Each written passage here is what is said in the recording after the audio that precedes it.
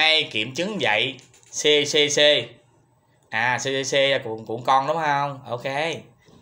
Hôm nay báo pháp lực online.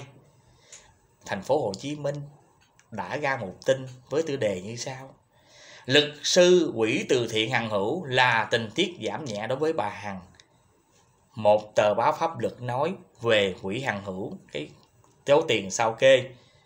Vậy đủ đủ độ tin chưa? Đủ độ tin chưa? Khán giả khó tính. Thành được một hai ba bốn. Đủ đủ chưa? Đủ chưa?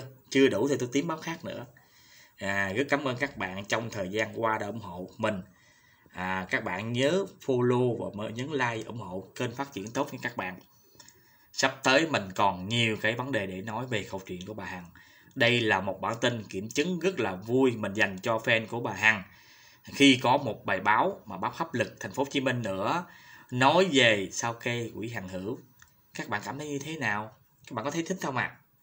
À? à mình rất là thích về cái bản tin này các bạn. Đây là tin mới nhất ngày hôm nay. Cảm ơn các bạn.